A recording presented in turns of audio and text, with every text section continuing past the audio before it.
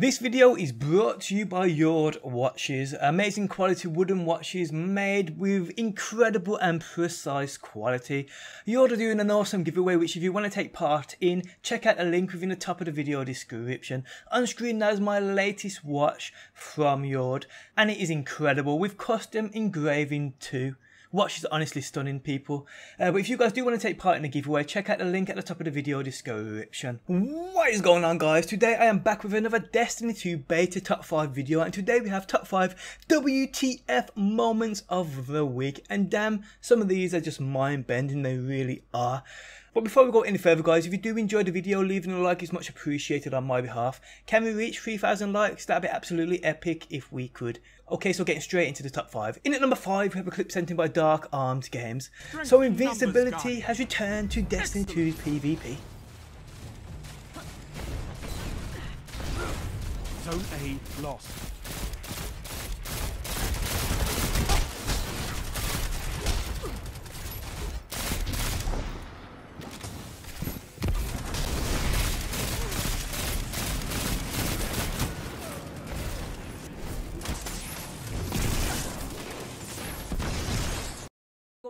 In at number four, we have a clip sent in by Jakey. What actually happened here?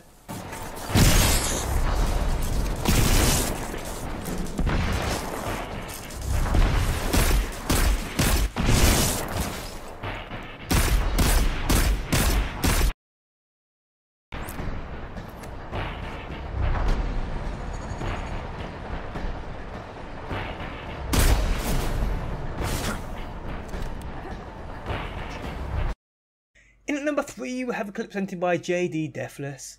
One shot across the map with an auto rifle through walls. Okay then. Zone C secure. You have zone.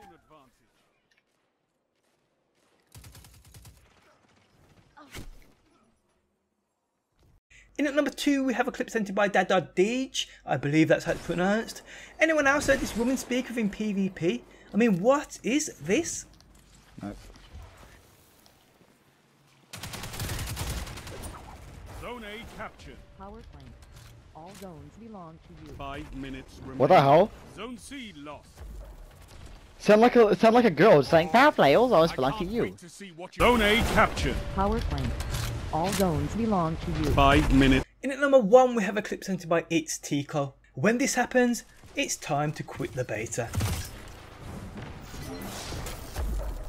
It's time, Guardian. Crush them.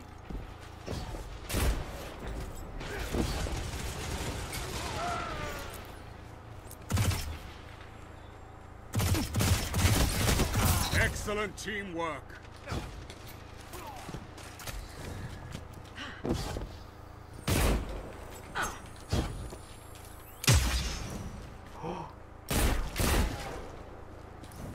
And guys, that is the end of this top 5 WTF moments of the week. If you enjoyed the video, leaving a like is much appreciated on my behalf.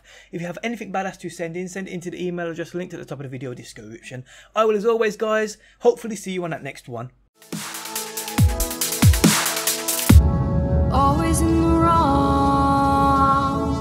knowing where we stand.